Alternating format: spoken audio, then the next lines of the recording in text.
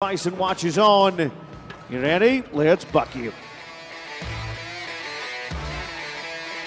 Yeah. Woo.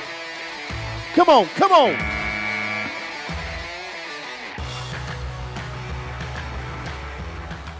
As the crowd goes wild. Oh, Shane Peters. Shane Peters making it to the eight second buzzer, man. We needed that. We needed to get back on the right side of life, and Shane Peters did it in a big way. Big red horn bull from Scory Bucking Bulls, Elliott Lane Scory. Numbers are coming in. How about 84 points for Shane Peters?